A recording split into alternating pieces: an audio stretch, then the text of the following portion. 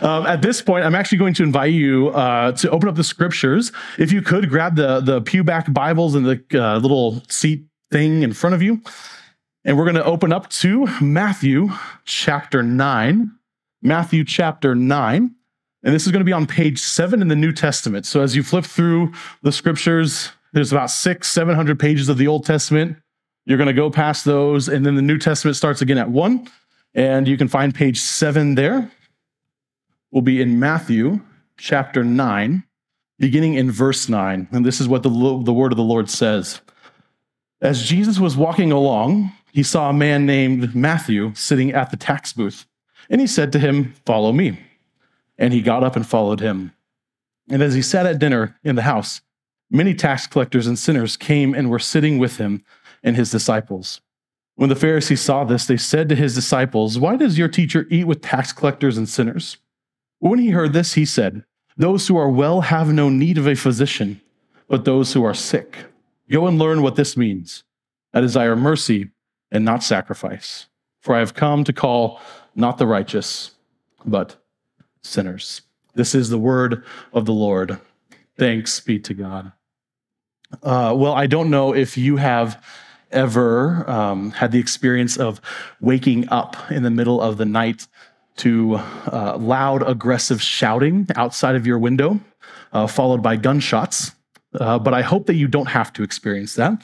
Uh, this is something that I experienced about five years ago uh, while my wife and I were living in Madison, Wisconsin. Uh, praise the Lord that my wife and our oldest son was they were out of town that day. Um, but we lived in a parsonage, so it was a, a house that the church owned that was connected by way of an underground tunnel to our church building. And right outside our bedroom window was our driveway down. It was on the second level, was a driveway down there. And then there was a parking lot for an apartment complex that's right next to it.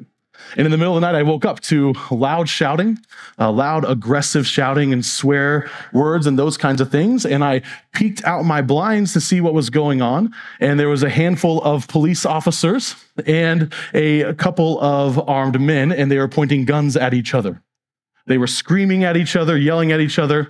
And uh, one of the men shot a couple of uh, bullets, and they both ran away uh, across the uh, way and try to get around the apartment building. Uh, praise the Lord.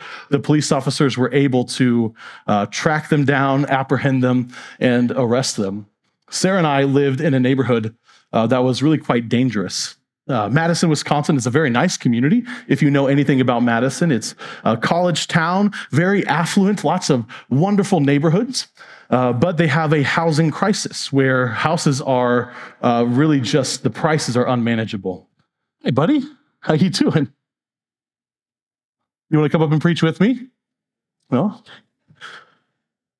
But Madison has a, uh, a problem with their housing where house prices are unmanageable, uh, really unlivable. So there are very few places in Madison that have uh, ha- affordable housing uh, that you can afford at a living wage. And we lived in one of those neighborhoods. Within a 10 minute walk of our house, there were 15,000 people that lived there. Apartment buildings scattered our house. We were the only single family home in our neighborhood. And we were one of only a handful of white families in our neighborhood as well. It was under resourced. Uh, there wasn't a lot of public transportation that went through our neighborhood. It was also what's called a food desert, which means that there is no grocery store within walking distance from the neighborhood. And so uh, many of our neighbors, where they went to go get groceries, was the gas station next to our church building. They would walk across our backyard. The church kind of had a double lot. And so they had an open field. We had an open field behind us, and they would walk through our backyard and go to the gas station and get their supper. They would walk back to their apartment and have it. Uh, at one point, while we were living there, uh, there was a shootout between two gang members across the street from the elementary school that was in our neighborhood. Right by the elementary school was a bike path that people could walk or ride bikes on. And on the other side of the, bike, the bike path was a neighborhood called Arbor Hills. And Arbor Hills was a beautiful neighborhood, much like you would think of in Madison, Wisconsin. Huge houses, you know, 2,000 square foot plus, respectable professionals, these kinds of things. So we lived in an area that literally you cross the bike path, you cross the tracks, and it was like a different world over there beautiful big parks and lots of greenery and these kinds of things. And this neighborhood, uh, these two neighborhoods, both fed into the elementary school. And so the elementary school had quite a diverse group of students, uh, both by race and by economic status. And after we had the incident with the gang members across the street from the elementary school, they held a town hall at the school. And uh, I went there as uh, the pastor in that neighborhood, and because uh, we were the only church in that neighborhood as well. So I went there along with some of my parishioners were there also. Uh, there were a few of us there from our neighborhood, which of course didn't have a name. And there were many, many people from the Arbor Hills neighborhood, this professional, respectable neighborhood. And the folks from Arbor Hills uh, demanded that we do something because the neighborhood was getting too dangerous. There was lots of pearl clutching about how bad the neighborhood had gotten. Uh, praise the Lord, there was a political leader there, an older person who had grown up in a neighborhood like mine uh, that we lived in and uh, was currently living in Arbor Hills. And she was able to do a good job of easing the tension and having good conversation. While we lived there, uh, there was a lady that attended our church in our neighborhood. Her name was Val. And she was a short, kind of rotund, stocky lady, and she was loud and opinionated. Uh, I don't know if she realized just how like loud her voice was, but when she talked, you just like like everybody heard everything that she was talking about all the time. And she was just a wonderful lady uh, who didn't attend our church when I first got there. Then she started attending and she came up to me and said, Hey, Pastor, just want to let you know that I used to attend this church, but I didn't like the pastor that was before you. So I left the church. And now that you're here, I'm back and I'm going to kind of check out how things are going. Now, as a pastor, this is a red flag. And you think, All right, this person's going to be a troublemaker. All right because uh, she was opinionated. She let me know what she thought. And I thought, I do not want to deal with this lady. I do not want her here. I do not, I do not look forward to her being around our church. In the 14 months that we lived in that neighborhood uh, while we were pastoring that church, uh, she brought about five people to the Lord, her neighbors, people who had never heard about Jesus. And she told them about Jesus.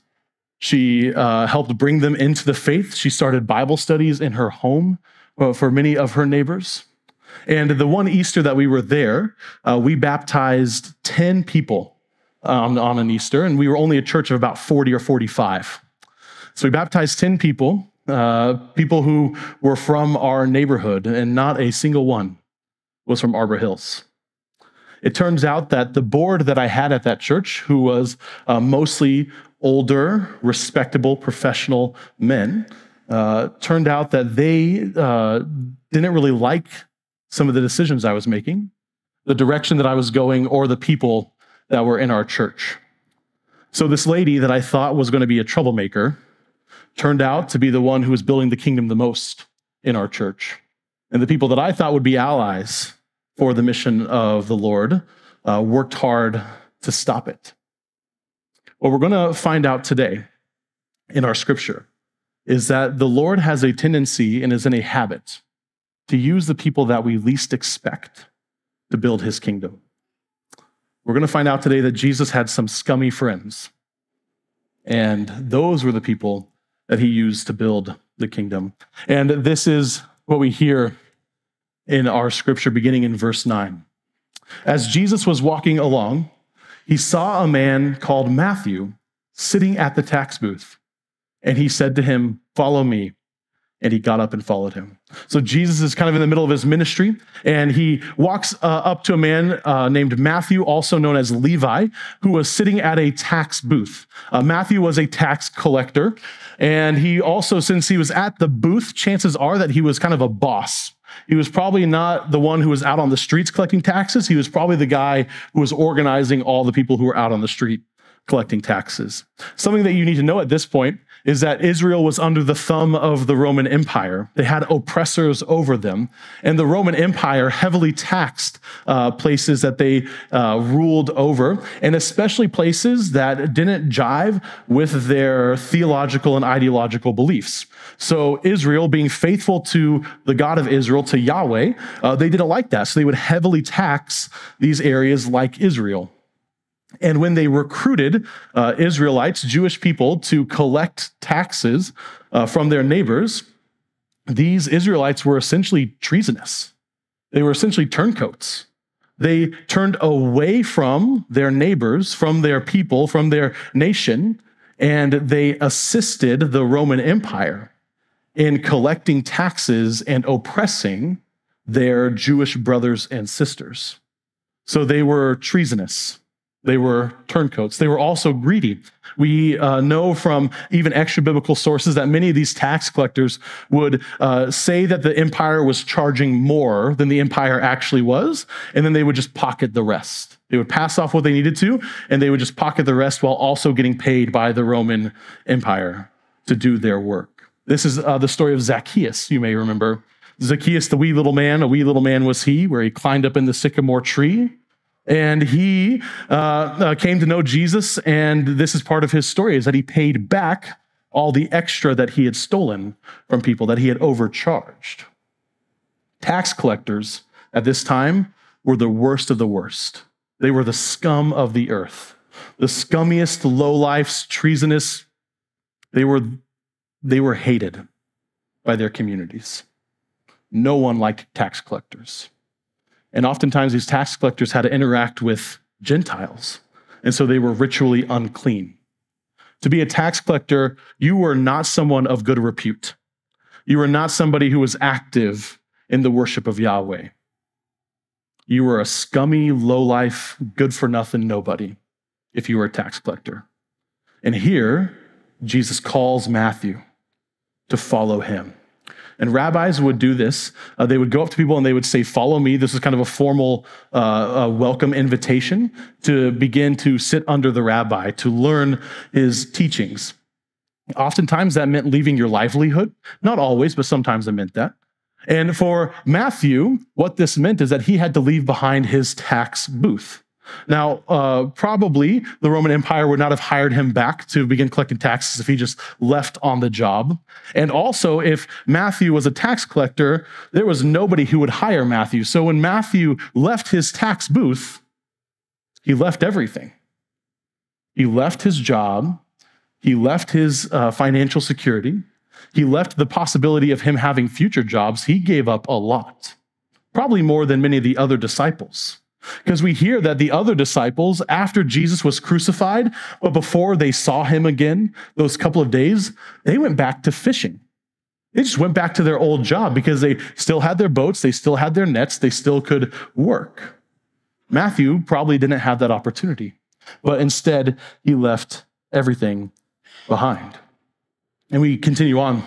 And as he sat at dinner in the house, many tax collectors and sinners came and were sitting with him and his disciples. So we see here that Matthew is not resigned to follow Jesus. He's not sad about following Jesus, but he actually throws a party in celebration. As he invites the Lord to dinner, Matthew also invites his friends, the other tax collectors and the other sinners, to participate in this celebration. Matthew's not sad here, he's throwing a party to say that he's following Jesus now. And other tax collectors was there. And this word sinners is just kind of a catch all for anybody who is outside of normal society. Anybody who doesn't really participate in uh, the worship of Yahweh, people who are um, oftentimes do jobs of uh, disrepute. So we're talking uh, people who are mercenaries, these kinds of things, prostitutes, all this kind of stuff that people who are not respectable people who are not part of normal society, this is what sinners are. And almost certainly, these people were not going to temple regularly. They were not going to synagogue regularly. They were not doing all the sacrifices necessary to become clean and pure so they could worship Yahweh. So these people were unclean. They were ritually impure. And that's why here the Pharisees are so upset. When the Pharisees saw this, they said to his disciples, Why does your teacher eat with tax collectors and sinners? Because for us, eating is a pretty casual thing. When you go on a tailgate or you, you know, have a, have a little cocktail party or whatever, right? It's a pretty casual thing. But in this culture, to eat with somebody meant that you were associating with them, that you were close to them, that you were working with them on something, or that you were partners in some kind of venture. And so here Jesus is closely associating himself with tax collectors, sinners, those who are outside of normal society, and those who are of disrepute, those who are defiled, those who are unclean. Because for the Pharisees, they thought that being holy and righteous and good meant that you were separated from those things that were unclean and defiled. It meant that you didn't touch the thing that was unclean because then you would become unclean. But here Jesus is interacting and probably physically touching, just even just, you know, back pats and that kind of stuff with people who are ritually impure. People who are sinners, the worst of the worst, the scummiest lowlifes in the community. And here Jesus is eating with them. We know that Jesus did this regularly. We hear about it in Luke 15, Luke 19, Luke 7. We hear that Jesus, at one point, he is accused of being a glutton and a drunkard because he spent so much time at these kinds of gatherings with people who were also gluttons and drunkards, people who were outside of normal society, maybe even outside of Israel's worship of Yahweh. And here Jesus is interacting with them. The Pharisees can't understand this because it doesn't fit in their framework, their idea of what a religious leader, and especially not the Messiah, should do. Because for the Pharisees, as they were thinking about religious leaders and especially the Messiah, what they were supposed to do is overthrow the Roman Empire, get out from under the thumb of the Roman Empire to, to make Israel a nation that all other nations can look to and come to and get benefit from. For them, the Messiah or religious leaders are supposed to make Israel pure and holy and upright and overthrow the Roman government. Yet here Jesus is, associating with those who are treasonous, associating with those who are impure, associating with those who do not worship God, do not worship Yahweh, and certainly don't respect the purity laws of the scriptures. And they couldn't understand it. And this is how Jesus responds. But when he heard this, he said, Those who are well have no need of a physician, but those who are sick. You see, what the Pharisees didn't understand, and what Jesus did understand, is that it was always part of God's plan to include and heal the scummiest lowlifes of the community. That was always part of the deal. It was always part of the plan that those who are far from God would be included in the kingdom of God. That the scummiest that the community has to offer are going to be the ones who are brought close to our Lord and included in this new kingdom that God is going to be built. That this isn't a bug of the system, but it's actually a feature of the system. And we hear about this later from Paul, who writes, um, uh, this is after Jesus' resurrection. Paul is a church leader, a pastor, an evangelist, missionary. He goes out and starts all these churches. And this is what he writes in his letter to the Corinthian church in the first chapter and part of the introduction. He says this Consider your own call, brothers and sisters. Not many of you were wise by human standards. Not many were powerful, not many were of noble birth. But God chose what is foolish in the world to shame the wise. God chose what is weak in the world to shame the strong. God chose what is low and despised in the world, things that are not, to reduce to nothing things that are, so that no one might boast in the presence of God. He is the source of your life in Jesus Christ, who became for us wisdom from God and righteousness and sanctification and redemption, in order that, as it is written, let the one who boasts boast in the Lord. You see, it was always part of God's plan to use the scum of the earth, the lowlifes, the nobodies, the dirty, rotten scoundrels, to proclaim the gospel simply for the fact that it shames those who are respectable, who are wise, and who are strong. God chooses, still actively chooses, to use the scummiest low lives to build the kingdom so that those of us who are respectable are put to shame. That's the point. is to actually humble us, those of us who consider ourselves respectable. And we actually can see this in our world right now. Because here in the Western world, that is built on the foundation of uh, Christian virtue and Christian faith, in a world that is that is uh, we have so much access to uh, medical care and to money and to housing and to sanitation to clean food. We have everything you could possibly want, and the church in the Western world is declining, and the church is growing in those places that we would say are dangerous.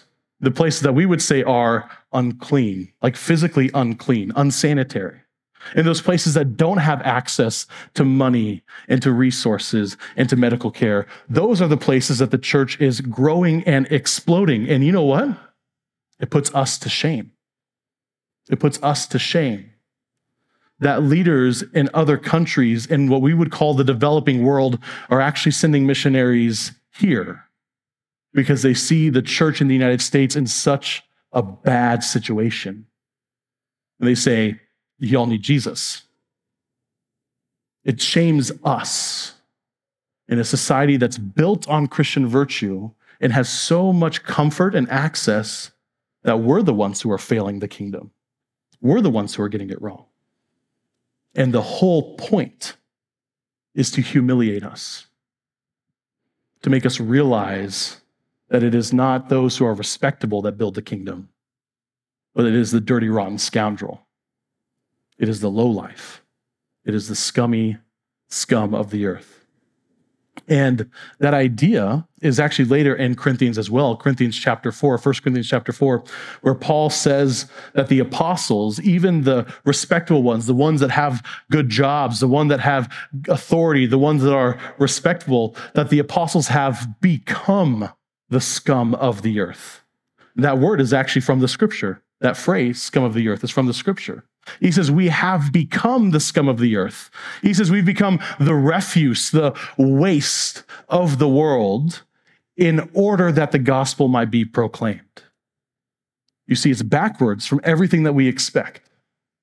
That those who are the lowest of low are the ones ordained by God to build the kingdom so that those of us who are respectable might be put to shame, might be humiliated. For this very reason, that the one who boasts must boast in the Lord. We also, um, uh, as Jesus continues, he says this to the Pharisees. He says, Go and learn what this means. This is Jesus. This is a very kind of like rude, almost sassy thing to say. Go and learn what this means. I desire mercy, not sacrifice. For I have come to call not the righteous, but sinners.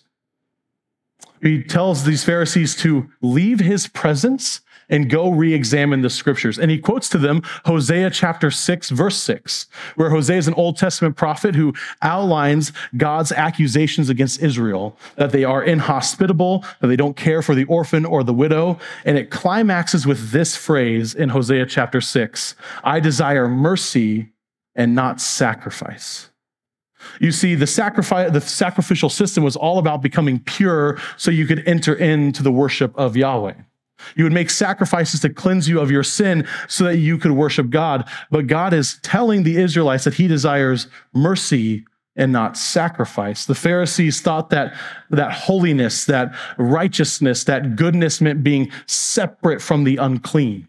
It means being separate from those things that defile. But Jesus uh, reframes this.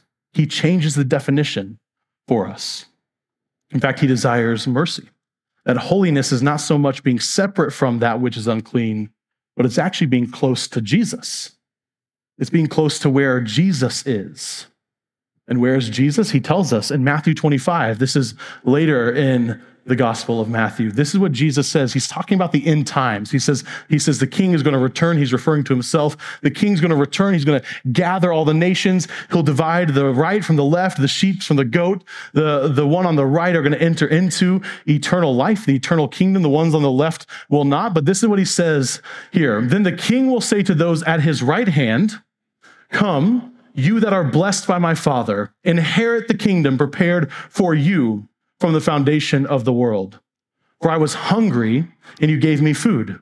I was thirsty, and you gave me something to drink. I was a stranger, and you welcomed me. I was naked, and you gave me clothing. I was sick, and you took care of me. I was in prison, and you visited me. Then the righteous will answer him, Lord, when was it that we saw you hungry and gave you food? or thirsty and gave you something to drink? And when was it that we saw you as a stranger and welcomed you, or naked and gave you clothing? When was it that we saw you sick or in prison and visited you? And Jesus says, Truly I tell you, just as you did it to the least of these who are members of my family, you did it to me. You want to know where Jesus is? He's with the sick the lonely, the hungry, the homeless, the prisoner. That's where Jesus is. Holiness, goodness, righteousness is not about being separated from that which is unclean, but it's actually being close to Jesus, and he is with those who are unclean. Which is why he says, I desire mercy and not sacrifice. He wants us to draw close to those who are hurting. He wants us to draw close to the lowest, lowest, low lives in our community. Draw close to those who are the scummiest in our community. Draw close to those who are the most unrespectable in our community. Because that's where He is. He's there. He's already at work. If you want to find Jesus, go find the homeless person. Go find the low life. Go find the prisoner. That's where Jesus is at work. And Jesus says, Serve me by serving these people. Take care of me by taking care of the low lives. Why? Because it shames the wise, it humiliates the powerful, it humiliates those who are respectable. And this is so backwards from everything that we think, everything that we think is good and right, because we're told to get a good job, we're told to uh, uh, take care uh, and get a good house. We're told to make sure that we are liked and respected by our neighbors in our community. And the invitation of Jesus is just the opposite. The invitation of Jesus is to draw close to those and befriend those who are unrespectable, those who are dirty, those who are unclean, those who are scummy, those who are the lowlifes. And in fact, as we proclaim the gospel, just like the apostles, we ourselves are also going to become the scum of the earth. We are going to become unrespectable in it. We're going to become the low lowlifes because we are associating and loving those who are the low lowlifes. I wish there was some sort of nuanced interpretation I could give you to Matthew 25. But if you read through Matthew 25, it's going to give you an existential crisis because Jesus says it about as clear as can be. If you want to be part of the kingdom, you will serve and love and befriend and associate with the tired, the sick, the hungry, the homeless, the prisoner, the criminal. If you want to be part of his kingdom, that's where it's going to lead you every single time. And in fact, he even says that it's a matter of faith. Your faith is in the balance. Because if you're following Jesus and he doesn't lead you there, you have the wrong ideas about Jesus. You're like the Pharisees, thinking that separation is the answer. Instead, it's proximity, closeness, participation with those who are hurting. I know this is a tough teaching, but this is why it's a scandal. This is why it was scandalous to the Pharisees to see Jesus behave this way, to become unrespectable, to become a low life, to become the scum of the earth. Because it goes against everything that we think is right and good.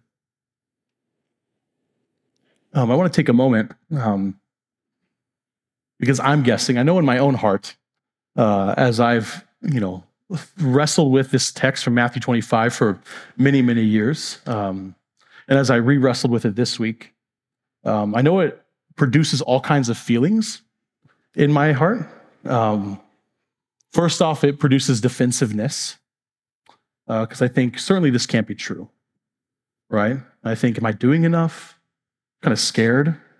if Jesus will accept me into his kingdom, because I don't know if I'm doing enough. And maybe that's what's rising up in you. That's a good place to be. Um, so we're going to take some time to, to pray through that. Um, but maybe you are somebody who is unres- unrespectable. Maybe you are somebody who is a low life, and maybe it gives you hope. And if so, know that the Lord is very near to you. And the Lord is with you. And he was a low life also. He was the scum of the earth also. Um, so, yeah, so let's just take a moment. Um, I want you to just present to the Lord uh, whatever emotions you're feeling. If it's defensiveness, if it's inspiration, if it's fear, um, if it's hope, whatever that is, um, let's just take uh, a few seconds here. And I just want you to confess that to God. Uh, tell Him what you're feeling.